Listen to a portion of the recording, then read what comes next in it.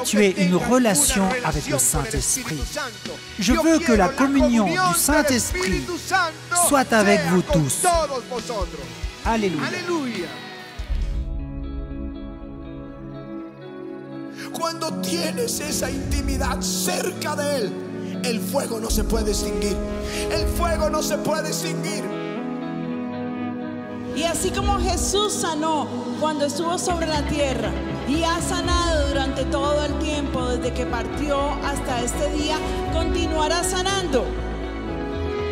Y yo te digo, si caminas con el Espíritu, oigan lo que el Espíritu Santo dice, haré maravillas que no han sido hechas en toda la tierra.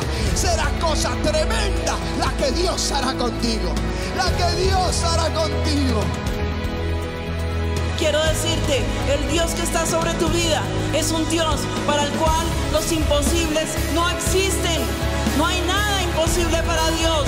No hay nada imposible para Dios.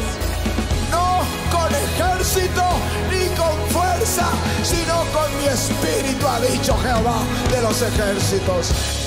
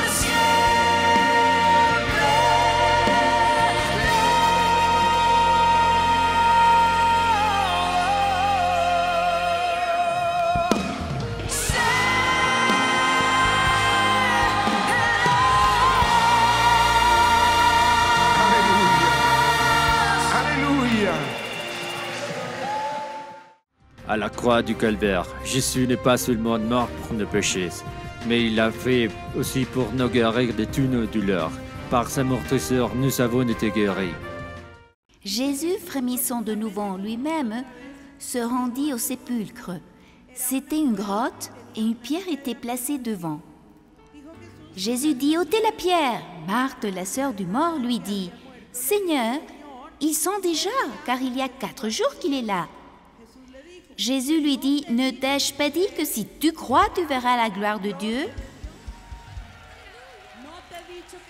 Ne t'ai-je pas dit que si tu crois, tu verras la gloire de Dieu? Ils ôtèrent donc la pierre et Jésus leva les yeux en haut et dit Père, je te rends grâce de ce que tu m'as exaucé. Pour moi, je savais que tu m'exauces toujours, mais j'ai parlé à cause de la foule qui m'entoure, afin qu'ils croient que c'est toi qui m'as envoyé. Ayant dit cela, il cria d'une voix forte Lazare, sors Et le mort sortit, les pieds et les mains liés des bandes et le visage enveloppé d'un linge. Jésus leur dit Déliez-le et laissez-le aller. Amen et Amen. Ceci n'est pas un recueil d'histoires, mais ce sont des faits réels qui ont été écrits pour moi, pour que nous ayons la confiance de ce que le Seigneur ne change pas, que le Seigneur, comme la parole dit, est le même tiers d'aujourd'hui et pour les siècles des siècles. Il aura toujours cet amour pour nous, cet inépuisable pouvoir, parce que je veux que tu saches que l'amour de Dieu ne s'épuise pas. Ne pense pas, il a déjà utilisé ce pouvoir pendant tant de siècles que c'est déjà fini. Définitivement, il n'a plus de force.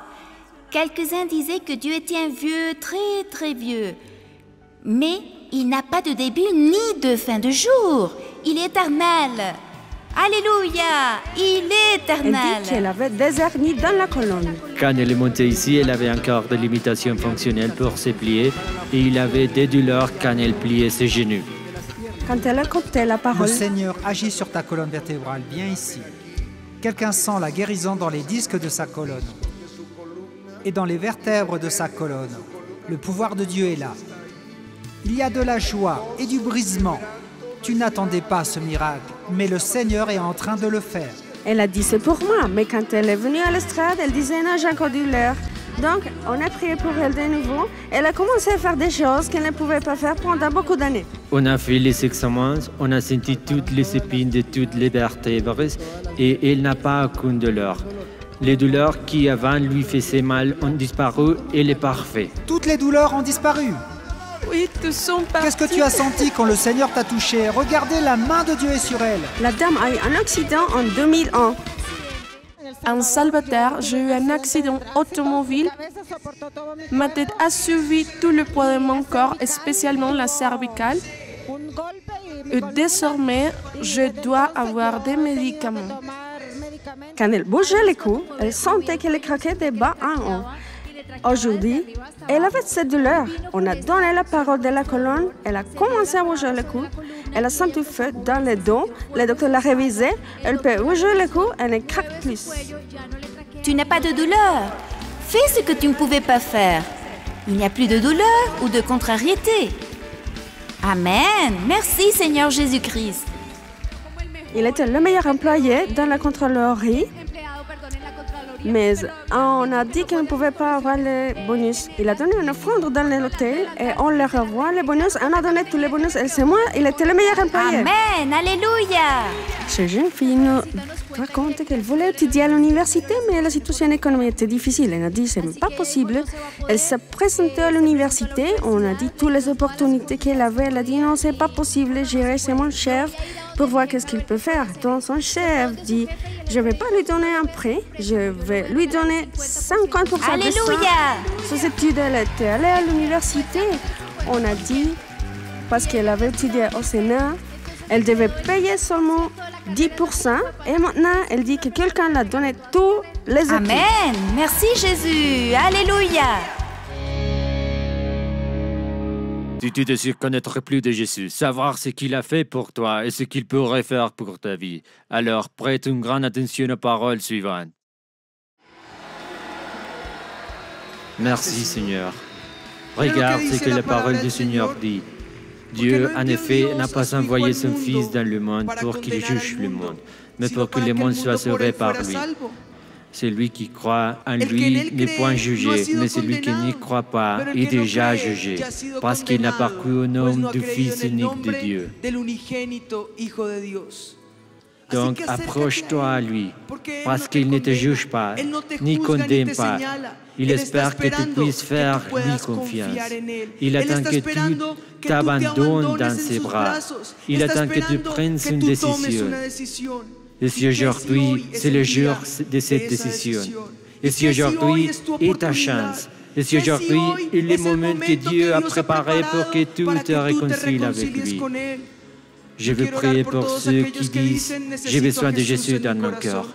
Là où vous êtes, je veux vous demander que vous fermissiez vos yeux et que vous fassiez la prière suivante avec tout votre cœur. Je vais vous guider dans cette prière. Dis Seigneur Jésus, j'ai besoin de toi. J'étais un pécheur. Je me suis éloigné de toi, mais aujourd'hui je me repens et je me tourne vers toi avec mon cœur. Je veux que tu laves mes péchés avec ton sang et que tu écris mon nom dans le livre de la vie éternelle. S'il te plaît, ne l'efface jamais. Au nom de Jésus, Amen et Amen. Donne ce fort applaudissement à mon Jésus.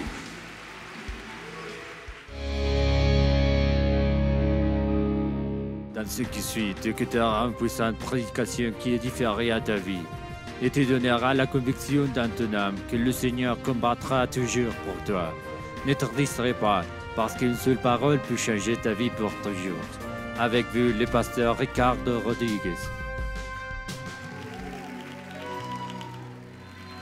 2 Chroniques, chapitre 11. Il les fortifia et établit des commandants et des magasins de vivres, d'huile et de vin. Il mit dans chacune de ces villes des boucliers et des lances, et il les rendit très forts. Judas et Benjamin étaient à lui. Les sacrificateurs et les Lévites, qui se trouvaient dans tout Israël, quittèrent leur demeure pour se rendre auprès de lui.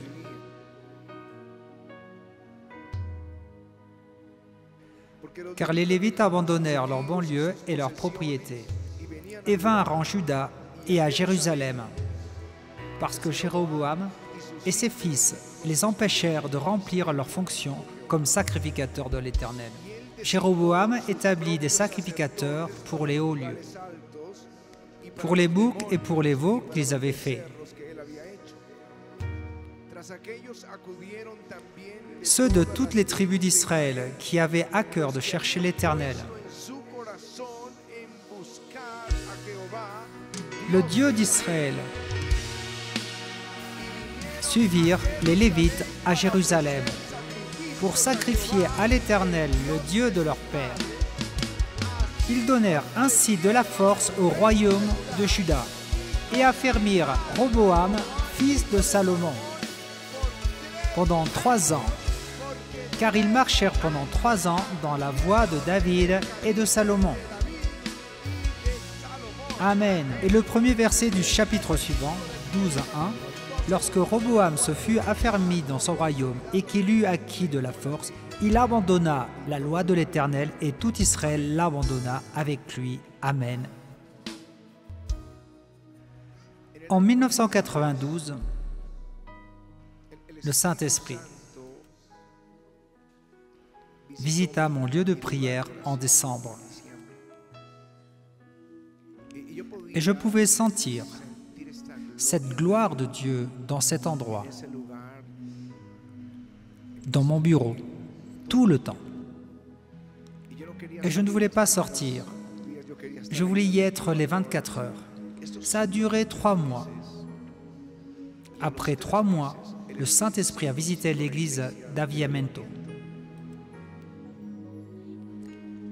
Et le Saint-Esprit nous avait visités dans l'église et huit jours après, l'église s'était dupliquée. La petite église de 70 personnes se dupliqua et après tout un mouvement de l'esprit démarra. Et le premier service de miracle dans le centre de convention, et après nous avons changé neuf fois le site de l'église et nous avons fait neuf agrandissements du centre mondial de réveil. Et la gloire était là. Et la gloire continue dans le lieu secret et dans nos services. Ça a commencé en 92 dans ma vie privée et en février 93 à Aviamento. Et en 94, nous étions en Espagne. Nous prêchons dans une église où sont venus les leaders et les pasteurs d'autres congrégations de cette mission. Et durant le dîner, après le service, les pasteurs nous ont posé des questions. Et une de ces questions était celle-ci. Pourquoi l'onction est-elle partie Après nous avoir visités pendant trois mois. Et que le Saint-Esprit était entré dans ce lieu et nous avait visités pendant trois mois. Je vous dis, ce qui s'était passé là-bas fut tellement impressionnant qu'ils ont dû faire un service tous les jours et il n'y avait pas de place pour tous ceux qui s'étaient réunis dans ce lieu. Pendant trois mois, la gloire de Dieu était là et soudainement, elle cessa. L'huile cessa. Et je n'avais pas toute l'expérience, mais au moins j'avais une année et demie sous la gloire, sans qu'elle partait après trois mois. Et, et ils m'ont posé la question. Je posais la question au Seigneur dans mon esprit, car je n'avais aucune réponse pour eux. Et l'esprit était très clair et il m'a dit, il cherchait une expérience. Et je veux une relation. Mais eux voulèrent un moment émotionnel de gloire, tomber sous le pouvoir de Dieu, sentir cette merveilleuse présence. Mais je veux aller plus loin. Je veux que vous ayez une relation avec le Saint-Esprit. Je veux que la communion du Saint-Esprit soit avec vous tous.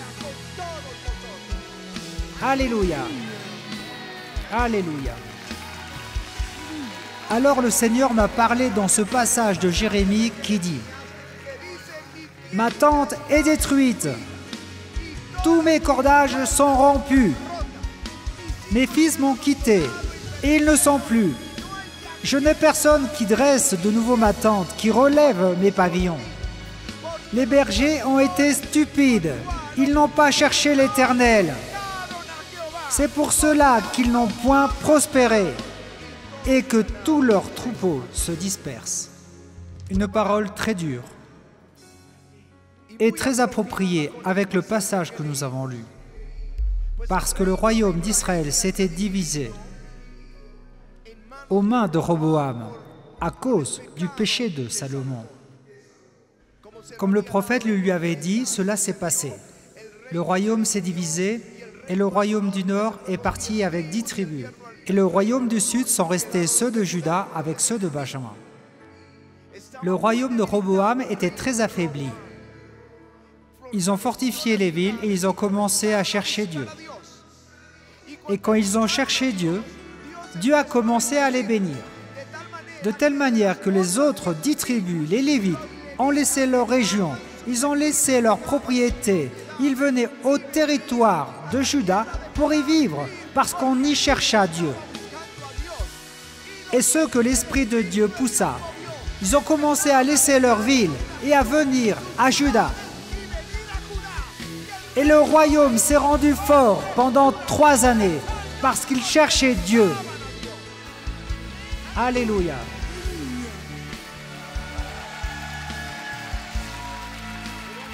Aussi, comme ses frères en Espagne, la parole de Jérémie s'est accomplie en eux.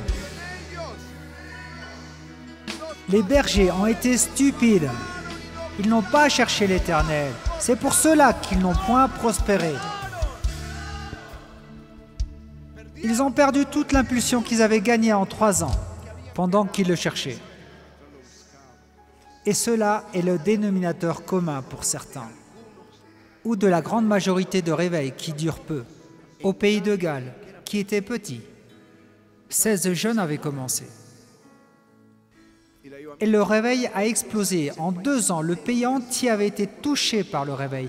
Plus de 100 000 personnes se sont converties dans ce mouvement de l'esprit en une seule année.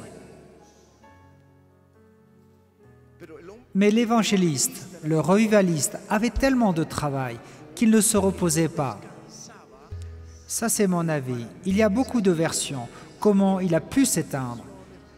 Mais ce que je sais, c'est qu'il n'avait pas de temps et ni même pour dormir. Et le feu s'est éteint. Plus jamais un réveil a été activé au pays de Galles. Parce que la parole de Jérémie s'accomplit. Je n'ai personne qui dresse de nouveau ma tente, qui relève mes pavillons. Savez-vous que le revivaliste du pays de Galles était aussi pendant trois mois sous la gloire de Dieu? Après trois mois, ce réveil a explosé. Il a duré deux ans. Mais l'Écriture dit en Jérémie, les bergers n'ont pas cherché le Seigneur. C'est pour cela qu'ils n'ont pas prospéré.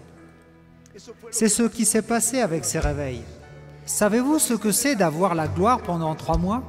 La Bible dit qu'Obédédon avait l'arche de la gloire pour trois mois et toute sa maison prospéra. Il prospéra en toutes choses. Pour trois mois sous la gloire. Trois mois sous la gloire. C'est le début d'un réveil. Et maintenant, je vous ai donné le livre de chroniques pour faire une réflexion avec l'Église. Pourquoi des rois de Juda ont-ils prospéré? Pourquoi? Quand nous lisons le deuxième livre des Chroniques, nous voyons qu'il y a des rois qui ont gouverné le royaume du Sud. Ils ont prospéré d'une manière incroyablement surnaturelle. Pourquoi ont-ils prospéré? Je vais vous les citer à partir du premier. C'est le roi Asa dans 2 Chroniques 14 et le verset 4 qui dit Il ordonna à Judas de rechercher l'Éternel, le Dieu de ses pères, et de pratiquer la loi et les commandements. Et il est écrit, il dit à Judas, il dit à Judas, bâtissant ces villes, et entourons-les de murs, de tours, de portes et de bas. Le pays est encore devant nous. Car nous avons recherché l'Éternel, notre Dieu. Nous l'avons recherché et il nous a donné du repos de tous côtés. Ils bâtirent donc et réussirent. Alléluia. Écoutez ce qui est arrivé au roi Asa. Repos de tous côtés. Ils ont bâti et ils ont prospéré. Cette année, écoutez Aviamento. Repos de tous côtés. Ils ont bâti et ils ont prospéré. Repos de tous côtés. Ils ont bâti et ils ont prospéré. Repos de tous côtés. Ils ont bâti et ils ont prospéré. Pourquoi? Parce qu'ils ont recherché l'Éternel de tout leur cœur.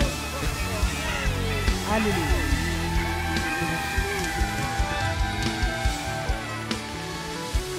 Alléluia.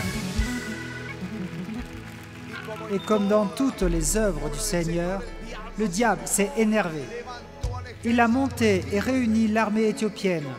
Un million de soldats sont venus pour balayer le roi Assa et toute son armée. Et quand ils sont venus, il a prié le Seigneur. Dieu lui a donné la victoire et ils ont détruit les Éthiopiens. Et un prophète de Dieu est venu et leur a donné une parole. Et alors le peuple a fait un vœu. L'Écriture dit, ils prirent l'engagement de chercher l'Éternel, le Dieu de leur Père, de tout leur cœur et de toute leur âme. Tout Judas se réjouit de ce sermon, car ils avaient juré de tout leur cœur. Ils avaient cherché l'Éternel de plein gré. Alléluia. Le deuxième roi qui a prospéré dans le deuxième livre de Chroniques, bien qu'il ne soit pas dans le même ordre au chapitre 26, c'est le roi Osias. Il est écrit Il fit ce qui était droit aux yeux de l'Éternel, entièrement comme avait fait Amastia son père. Il s'appliqua à rechercher Dieu pendant la vie de Zacharie, qui avait l'intelligence des visions de Dieu. Ici, nous avons le résumé. Et dans le temps où il rechercha l'Éternel, Dieu le fit prospérer. Alléluia.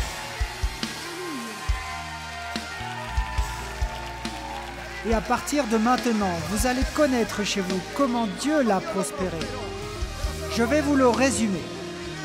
D'abord, Dieu l'a aidé contre les Philistins, contre les Arabes, contre les Ammonites. Et il les a vaincus, il les a battus, et ils amenèrent des cadeaux au roi Osias. Alléluia. Il y avait de l'abondance. Les champs du royaume du sud étaient pleins de culture, parce qu'il était l'ami de l'agriculture. Rempli de bétail, Dieu le prospéra. Il forma une armée comme aucun autre roi avant lui, très bien armée. Il connut la renommée. La renommée, ceux qui aiment les vêtements religieux. Mais la renommée est une promesse de Dieu. Il dit, je vais répandre dès aujourd'hui la frayeur et la crainte de toi sur tous les peuples qui sont sous le ciel. Et au bruit de ta renommée. Alléluia. Ils trembleront et seront saisis d'angoisse à cause de toi. Alléluia. Alléluia. Pourquoi ont-ils prospéré les rois de Juda? Parce qu'ils ont promis de chercher Dieu de tout leur cœur. Et ils ont persévéré en eux. Je veux chercher un ministère qui se joint à moi pour chercher Dieu. Je veux chercher un ministre qui dit Je vais chercher Dieu de tout mon cœur. Je veux quelqu'un qui dit Je vais le chercher. Je vais le chercher de tout mon cœur. Je vais persévérer. Parce qu'ils vont prospérer. Ils vont avoir shalom de tous côtés. Alléluia. Ils auront la gloire et la renommée parce qu'ils vont avoir la divine abondance. Parce que Dieu marchera avec eux. Parce que Dieu marchera avec ceux qui le cherchent.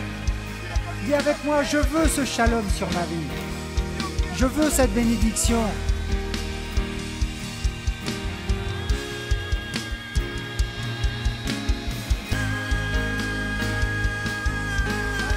Ceux qui cherchent Dieu, qui disent je veux faire un pacte, je veux faire un vœu avec mon pasteur. Nous allons chercher Dieu. Il y aura une veillée chaque mois à où nous allons le chercher de tout notre cœur.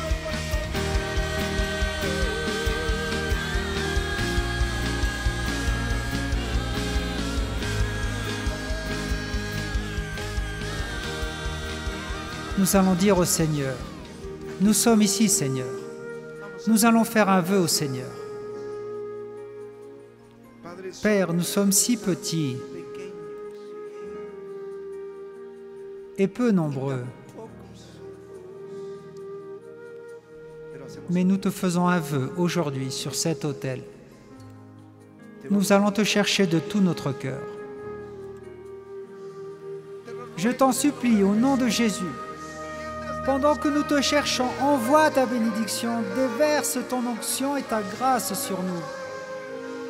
Fais-nous fructifier et prospérer en toutes choses. Parce qu'aujourd'hui, solennellement, Seigneur, nous te promettons de te chercher, te chercher de tout notre cœur. Solennellement, non trois mois, non trois ans, jusqu'à ce que nos cœurs cessent de battre sur cette terre. Solennellement, nous te promettons de te chercher chaque jour. Chercher ton visage, ton conseil, ta volonté. Et donne-nous, Seigneur, ta bénédiction. Fais reposer ton esprit sur cette maison. Je t'en prie au nom de Jésus. Au nom de Jésus, que chacun le dise dans son cœur, dans ses propres mots.